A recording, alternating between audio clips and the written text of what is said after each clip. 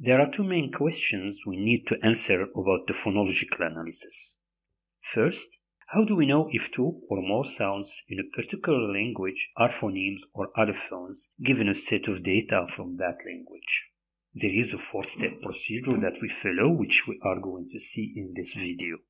Second, if two sounds turn out to be allophones of the same phoneme, how do we express this fact? Answer, in terms of phonological rule by following a formalization procedure. In this video, we will set to deal with the first question, leaving the second question to be the topic of the next video. Establishing phonemes. How can we identify phonemes? How can we tell if two sounds are phonemes or allophones? How can we figure out if two or more sounds are separate phonemes or allophones of the same phoneme in a given language? In other words, what are the methods to test the phonemicity of a phone? Given a set of data in a particular language, we will follow these four steps to determine if two phonetically similar sounds are different phonemes or allophones of the same phoneme. Notice that allophones are usually phonetically similar. There are four steps we need to follow for determining phonemes from allophones. Step 1. Check for the existence of a minimal pair. In a given set of data, we look for minimal pairs to establish that given sounds are phonemes. Check for minimal pairs for the two sounds. If there is a minimal pair or a near minimal pair, and the sounds in this minimal pair contrast, that is to say have different meanings, then the two sounds in question are in contrastive or overlapping distribution, meaning there are at least some contexts where either sound is possible and are then different separate phonemes in that language. There is a rarer case where the two sounds are in the same phonetic environment, that's to say, minimal pair-like contexts, except that the two words do not contrast, but have the same meaning. We conclude that they are possibly in free variation. In case there is no minimal pair in the data, then we proceed to step 2. Step 2. Check for complementary distribution. Are the sounds found in the same phonetic environment?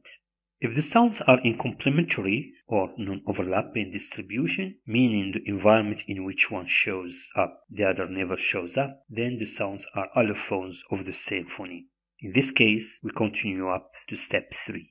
If two sounds are in complementary distribution, if two sounds are in complementary distribution, in which situation we have phonemes and their corresponding allophones, then we need to figure out which one is a phoneme and which is an allophone.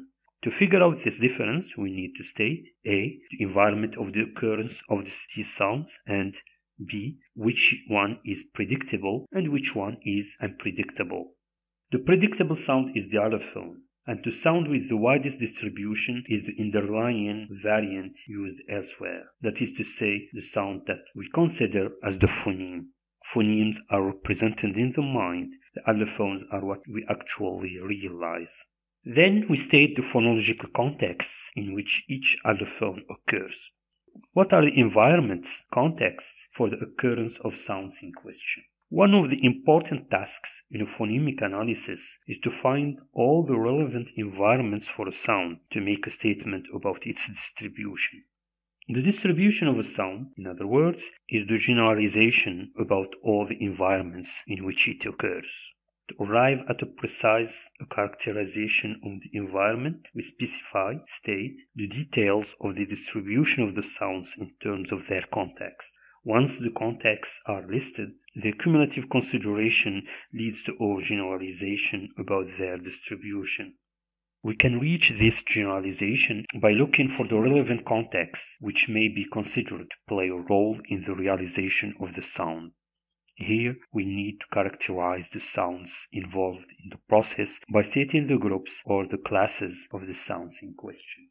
Once you determine the contexts in which each sound occurs, we need to determine the basic sound. We need to figure out which one of the two allophones is the underlying form. This is the one that typically occurs in the most environments, and which one is derived. This is the one with the more restrictive distribution. So, which form is derived from the other?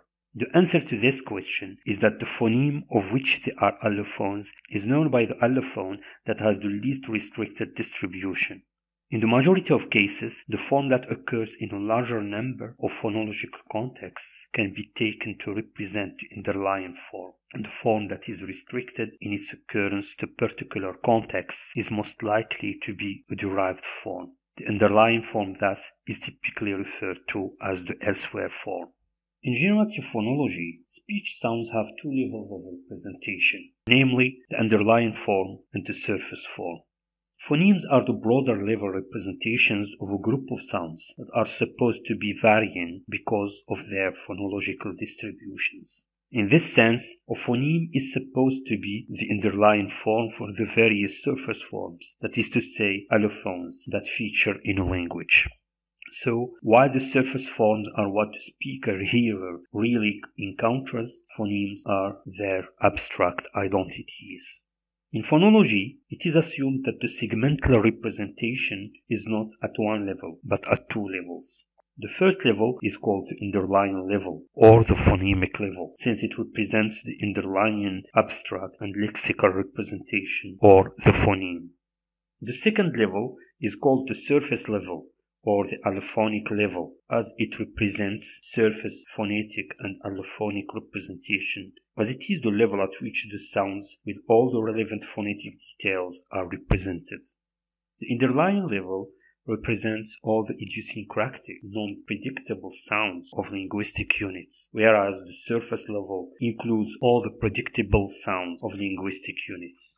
The relationship between the phonemic representation of words and their phonetic representation is determined by general phonological rules.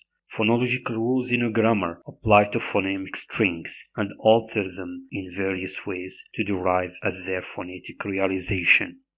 Step 4. Once the basic or underlying sounds are determined, we proceed to write a phonological rule that is assumed to apply to the basic sounds and change them in the given set of environments.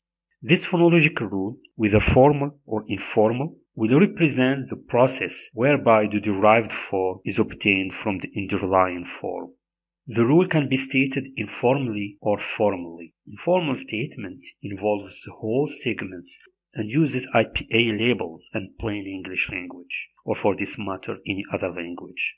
Formal rules do not involve whole segments, but features or set of features, and many new notational devices are used to formulate rules. Alpha notation, curly brace notation, etc.